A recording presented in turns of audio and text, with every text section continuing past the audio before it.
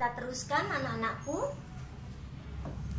untuk menggambarnya nih ya menentukan mana eh, daerah hasilnya atau daerah range-nya ya kita masukkan min 3 ke dalam soal yang diinginkan yaitu dia menjadi 9 menjadi 4 min 1 kuadrat menjadi 1 ini 0 ini 1 ini 4 dan di sini 9 ya.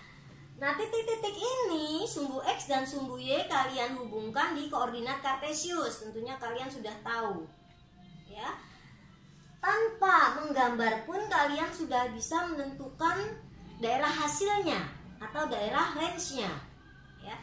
Taunya dari mana? Dari lihat kalian lihat di dalam tabel fungsi mana yang terkecil pada sumbu Y-nya nilai terkecil pada sumbu Y-nya dan nilai terbesar pada sumbu Y-nya. Ya, ini X-nya daerah asal dan Y-nya daerah hasil. Berarti daerah hasilnya jadi daerah hasilnya jadi daerah hasilnya yaitu disebut juga dengan RF ya adalah Y sedemikian rupa sehingga Y di antara 0 sampai dengan 9. Nah, ini dia. Ya, di antara 0 sampai dengan 9. Ya. Bagaimana? Sudah jelas ya? Alangkah baiknya titik-titik yang ada di tabel grafik fungsi ini kamu masukkan ke dalam grafik fungsi persamaan parabola. Nah, ada sebenarnya dari persamaan parabola ini kamu dapat mengetahui bahwa persamaan parabola itu membuka ke ke atas. Kenapa? Karena di sini x kuadratnya positif. Kalau dia x kuadratnya negatif, maka dia menjadi terbuka ke bawah, ya. Oke. Kita lanjut. Kita lanjut.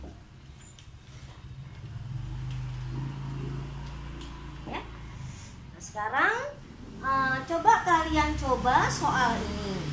Ya ibu minta kalian mencobanya. Ini RF itu range ya. Kalau domain itu disingkat dengan DF nah, domain fungsi F itu artinya.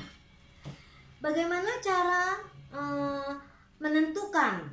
Bagaimana cara menentukan domain dari domain dan uh, range-nya dari soal ini? Coba ambil. Tentukan.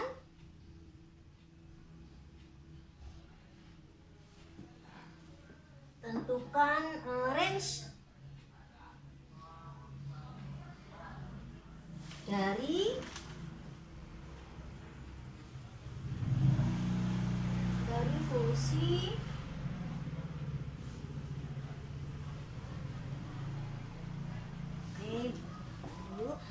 jangan range ya domainnya dulu ya tentukan domain dari fungsi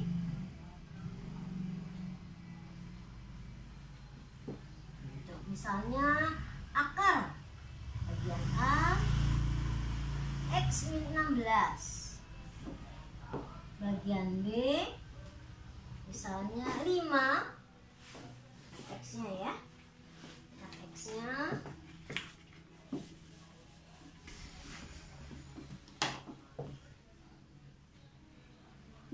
akar. X min 16 dan D. Fx sama dengan 5 per 5 min X. Gitu ya. Nah,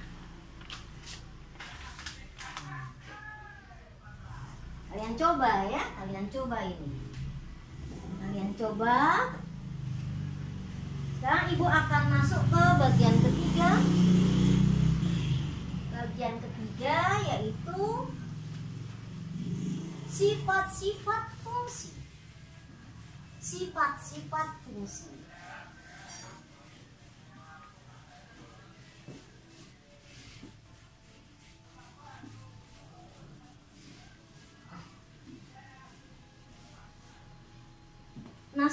sifat-sifat fungsi itu ya, sifat-sifat fungsi bagian ketiga ya.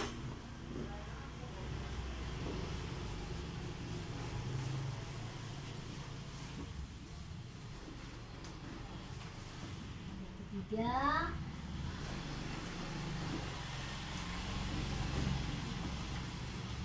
sifat-sifat fungsi sifat-sifat fungsi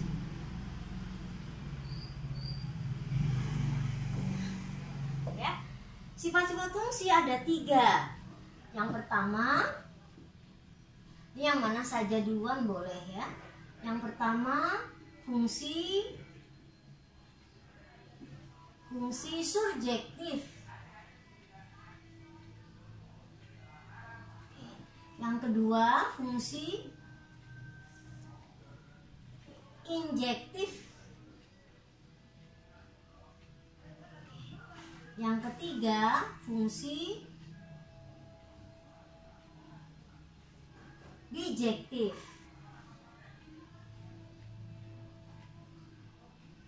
Nah ya masih ingat ya? Yang ketiga fungsi bijektif. Nah, sekarang apa yang disebut dengan fungsi surjektif? Disebut dengan fungsi surjektif? Fungsi surjektif dikatakan juga fungsi onto. Nama lainnya adalah fungsi onto. Fungsi onto. Nah, apa itu fungsi surjektif? Ya, Fungsi subjektif adalah fungsi yang semua elemennya atau korespondensi satu persatu. Ya, nah, korespondensi satu persatu. Nah, apa itu uh, fungsi uh, subjektif? Tadi Bu katakan bahwa fungsi fungsi subjektif hasil hasil daerah hasil harus sama dengan daerah kodomain. Ya, hasil atau daerah uh, uh, range harus sama dengan daerah kodomain ya nah itu disebut dengan fungsi onto fungsi subjektif ini apa itu namanya uh, kesimpulannya adalah jika dan hanya jika jika dan hanya jika daerah fungsi f atau daerah fungsi atau himpunan a harus sama dengan himpunan B. Nah, dia kesimpulannya. Ya. Jadi untuk bagian pertama kesimpulan dari fungsi surjektif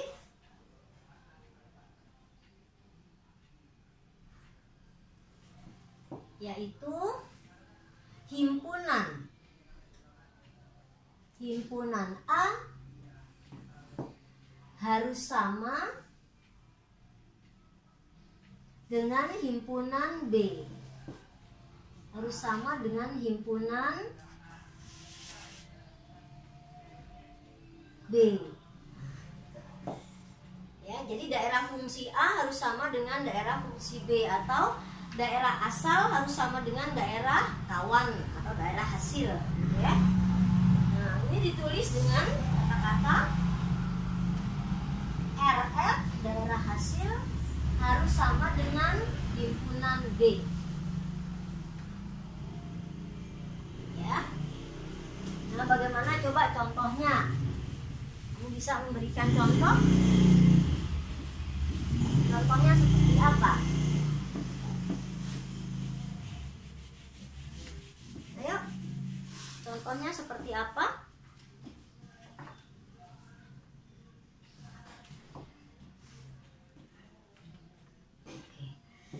Ibu berikan misalnya ini ada himpunan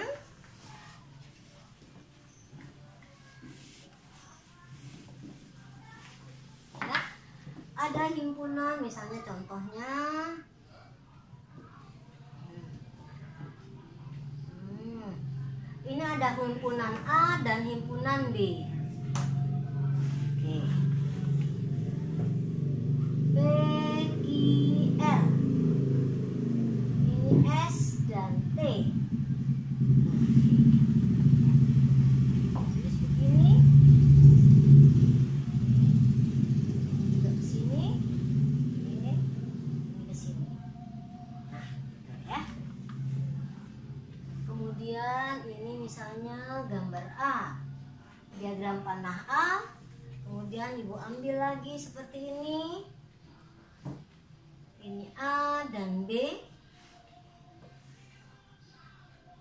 1 0 1 dan 2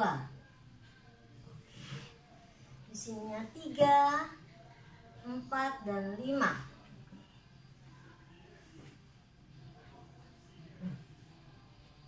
Min satu ibu pasangkan ke tiga, nol ibu pasangkan ke tiga.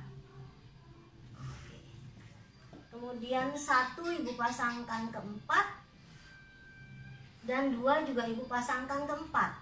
Nah, ini gambar B. Hmm.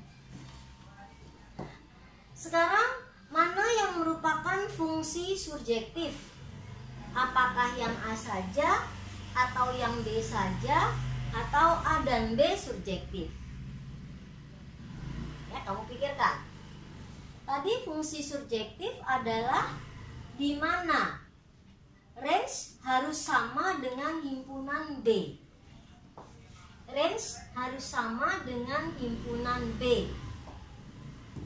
Coba dari situ saja, dari kesimpulan itu kamu sudah dapat menjawab. Baik, di gambar A, di diagram panah bagian A, semua himpunan A direlasikan ke dalam himpunan B. Ya, berarti dan range-nya sama dengan B. B itu kan daerah kawan, daerah kawannya adalah S dan T. Nah, hasilnya juga S dan T. Berarti bagian A adalah subjektif. Ya, jadi ini adalah fungsi subjektif.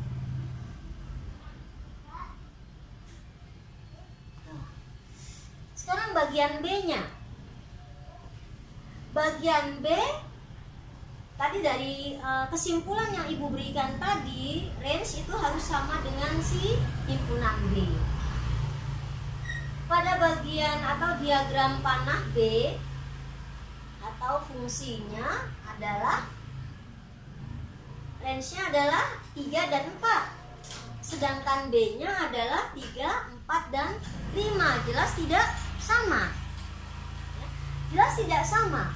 Min 1 dipasangkan dengan 3 dan 0 dipasangkan dengan 3 kemudian 1 dipasangkan dengan 4 dan 2 dipasangkan dengan 4 juga karena masing-masing mendapat pasangan. Tetapi ada di himpunan B yang tidak mendapatkan pasangan, berarti dia bukan himpunan surjektif, ya. Jadi yang ini bukan fungsi surjektif. Oke. Ya. Sekarang sudah bisa ya menebak apa itu surjektif? Kesimpulannya juga sudah jelas. Baik. Sekarang kita lanjutkan bagian kedua yaitu fungsi injektif ya fungsi injektif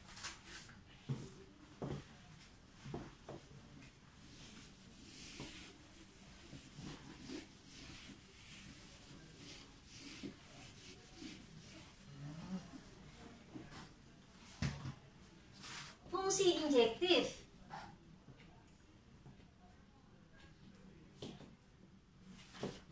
fungsi injektif ini adalah di mana himpunan B, himpunan A tidak sama dengan himpunan B.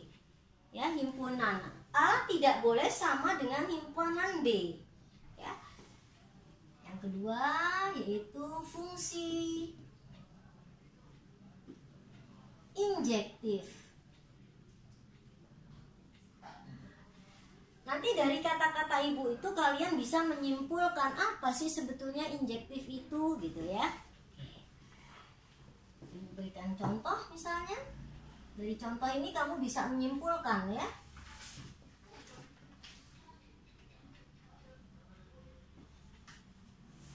Ini ada sebuah fungsi Fungsi X adalah X kuadrat Min 1 0 dan 1 0 dan 1 Min 1 ibu relasikan ke 1 Satu juga ibu relasikan ke satu. Sedangkan nol ibu relasikan ke nol juga. Oke. Ya. Kemudian misalnya ini adalah gambar diagram panah A. Dan ini ibu gambar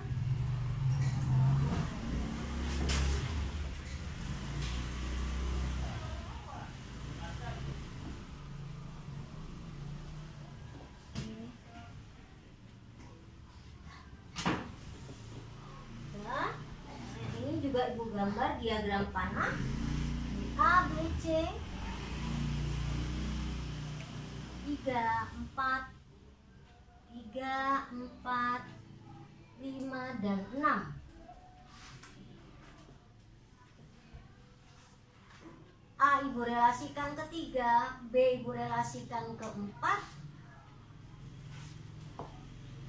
dan C ibu relasikan ke 5 Ini adalah diagram panah bagian B.